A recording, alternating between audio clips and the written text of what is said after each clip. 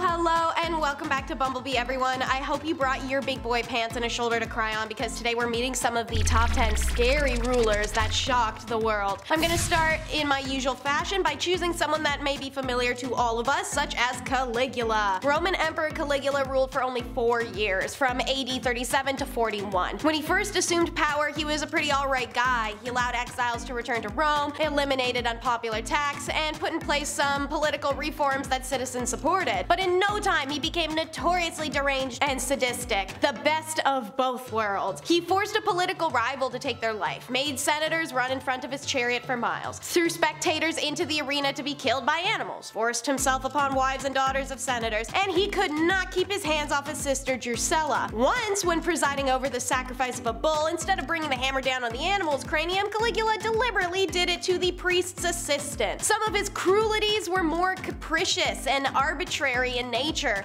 He would order that the awnings providing shade for the crowds of public entertainment be pulled back at the hottest times of the day. And if he ran across a man with a thick head of hair, he'd have him seized on the spot and his scalp roughly shaven because Caligula was going bald. His reign came to an end when his own guards killed him, the first Roman emperor to die this way. Another recognizable face and name may be that of Bloody Mary, not the mirror one from the 90s sleepovers. I'm talking Mary from First of England, as in the first queen of England. She could have been remembered for that, but instead it's her attempts to restore Catholic-only England using convert or die policy that she's remembered for. Lady Jane Grey, who Mary had put to death to gain the throne, was more likable to the public. Protestants detested Mary and feared England being reclaimed in the name of Catholicism. Mary promised not to force conversion and that her upcoming marriage to the Catholic Spanish king wouldn't sway her. Womp womp, Bloody B-word is a liar. A month into her ascension, Mary reaffirmed the papal jurisdiction over England, and when the deal with Rome succeeded, the heresy acts were reinstated, which allowed for the burning of heretics. In February of 1555, the Marian persecutions began. Sources vary, but in total, Mary I had almost 300 people executed, most of them burned at the stake. Most of them simply for the crime of being Protestant. Her reign was relatively short, lasting a little over five years. She died in 1558, either from ovarian cysts or cancer. Next up is the toll-taking Ptolemy Philopator, one of the Greek kings of the Hellenistic Egypt, a very obvious descendant of Alexander's pal Ptolemy.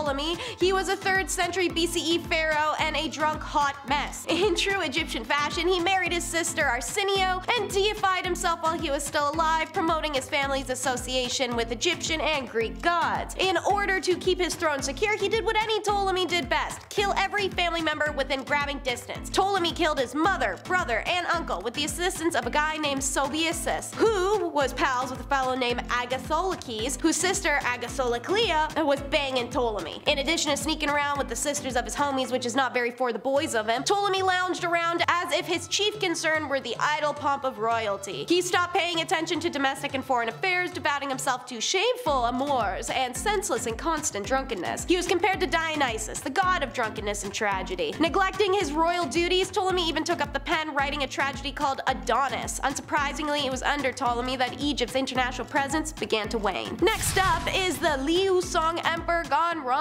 This teenage Chinese emperor only ruled for one year in the 5th century, but what a legacy he left. Liu Ziye was the eldest son of Emperor Xiao of Liu Song during the southern and northern dynasties, and he took over the throne as Emperor Qianfeng when he was 15 years old, against the wishes of his father who had died, who'd wanted Liu's younger brother Ziyuan to ascend to the throne next. Once it was his, Liu, out of deep resentment towards said father and brother, immediately forced his brother to take his own life and killed all his other siblings. The new emperor also all of the officials who'd worked for his dad and put his uncles under house arrest to avoid coups. While he's at it, he summoned his aunt to his palace to satisfy his uncommon bedroom desires, and then killed his uncle when the man couldn't stand what happened to his wife. He tormented his own concubines, forced horrible situations with inanimate objects and animals, and he also had a very consensual reoccurring relation with his sister in the palace. When said sister complained it was unfair that Liu had so many concubines and she only had one husband, Liu selected several dozen handsome men to act as her concubines. But Liu's worst fear ends up being true. His uncles had plotted against him, and one night, almost a year to the day since he had taken the throne, Liu Ziye went to the pavilion of one of his parks at night and shot at ghosts a shaman told him were hanging around. Distracted by shooting at ghosts, he let his courtiers get close and kill him. Now, onto Nero the Nutcase. He became the Roman emperor when he was 17, the youngest ever at that time, and it's clear Nero got his Machiavellian inclinations from his mother, who ensured his place on the throne by marrying her weird old uncle and then killing him via poison. Nero's hedonism actually continually got the best of him. In fact, he sentenced or personally killed most of his close relatives. For example, Nero slept with and killed his mother, married and death sentenced one stepsister, death sentenced his other stepsister, forced himself upon and then killed his stepbrother. He kicked his wife to death, then met a young man who looked like her, so he had the guy's boys snipped, dressed him up to look like the dead wife, and married the guy. He married another random dude, this time Nero himself playing the bride, and Nero also told Seneca, the Seneca, to F off and take his own life, which he did. And that's just the creepy lusty stuff. In 64 AD, a great fire struck Rome, taking out 75% of the city. Many Romans blamed Nero himself for the fire as a way to make room for a new castle, which he then built where half of Rome used to be. Even if he didn't start it, he did nothing to stop it, instead blaming Christians. Under his rule, thousands of Christians were starved to death, burned, torn by dogs, fed to lions, crucified, used as human torches, and nailed to crosses. He was so bad that many of these Christians thought he was the Antichrist. Some regard her as a hero, but she was a through and through bigot. Isabella of Castile. There was supposed to be a little chance, little, that she would ever become a monarch of the Castiles, as she was super far removed from the direct royal lineage. Isabella is even promised to a commoner to end a rebellion. Thankfully for her, he dies before that happens. She was then wed to Ferdinand, the heir of the thrones of Castile and Aragon. And after the death of the king of Castile, Castile, the throne was given to Isabella, but there were some counterclaims and four years of battles before she is fully titled Queen of Castile. Her cruelty is recognized in the treatment of non-Christians. Her kingdom's Muslims, and especially Jewish people, were the victims of a horrible mass slaying. Her actions led to the formation of the Spanish Inquisition, known for its extreme brutality and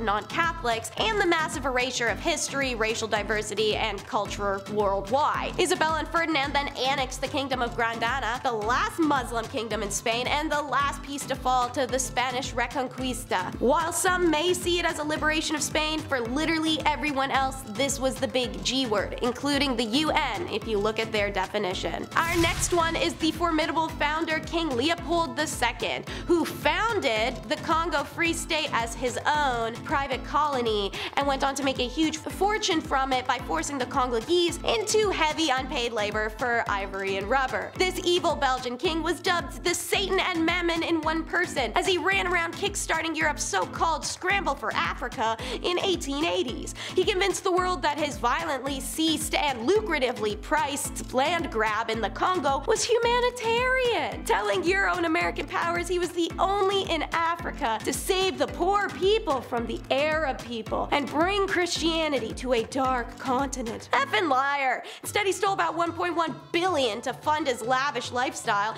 and fund an array of uncomfortably young girlfriends, one of which he married when he was 74 and then died five days later. And the Congo? He turned into a massive labor force. Millions end up suffering from starvation, the birth rate dropped as men and women were separated, and tens of thousands are killed in failed rebellions. Demographers estimate that from 1880 to 1920 the population population fell by 50%. This forced labor system was then copied by French, German, and Portuguese officials. He called himself Flagellum Dei, aka the Scourge of God. For Roman historian Jordanes, he was a man born into the world to shake the nations. For the Romans themselves, he was a savage destroyer, of whom it was said that the grass never grew on the spot where his horse had trod. Who was this man? Attila of the Huns. This ruthless king of the nomadic Asiatic race killed his brother to take the throne before embarking on a campaign of and pillage through a hundred cities, which took him to the gates of Constantinople, Troyes and Gaul, and even Rome itself, threatening their empire into paying them off once a year to not be invaded by them. The Huns were interested in grabbing people, animals, loot, and land. They destroyed food sources for their enemies, and nobody was safe from their wrath, including women, elderly, priests, monks, and nuns. When marauding through Eastern Europe one day, Attila and his forces wiped 70 cities off the map. The Huns fighters were known to make blood-curdling screams and other noises while attacking their victims on horseback, and their favored methods of death were impalement and crucifixion. Meeting time with our Mad Queen of Madagascar. Ranavalona makes it to the throne when her father warns the king of the United Tribes that someone was planning an attempt on his life. Grateful for the warning, he adopts Rana into his court one day to be the wife of his son, Prince Radama. Fast forward, the king passes in 1810 and the Prince Radama takes the throne with Rana as his queen. He allowed for an invasion on the land, especially by British missionaries who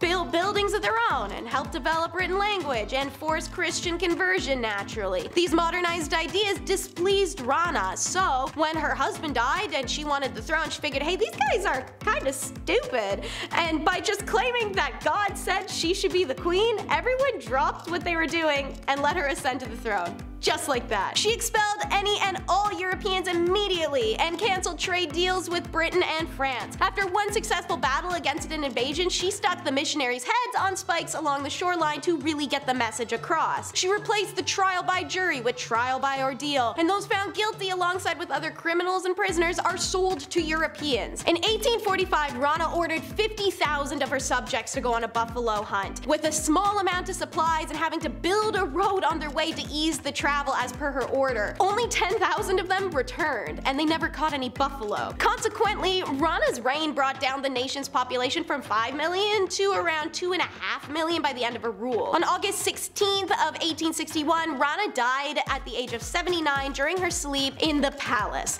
People mourned her death in great honor for approximately 9 months. And to take the cake is the terrifying Timur. Also known as Tamerlane, this Mongol Turkic conqueror was born in 1330 1936. Timur became a criminal early in life, stealing goods and animals from travelers, later working as a mercenary. As a conqueror, he killed for loot, personal glory, and the dark joy that twisted effed up people get from inflicting pain on others. He was the worst of the least recognized psychopaths in history, and his story provides a lesson and a warning for all of humanity. And he has a long list of horrible deeds. Dude could probably have his own top 10 video, I swear. Like the invasion of Isfahan, which went well and the city surrendered, but some teenage idiots decided they didn't like that and they had never done that before, so they killed a couple of Timur's men. So, Timur had a city of 70,000 to about 100,000 people beheaded in response. From this moment onwards, skull towers became his operandi. And it was proven in Baghdad when 90,000 skulls were erected into 120 stinking towers throughout the city. In present-day Afghanistan, Timur ordered the construction of a tower to be made out of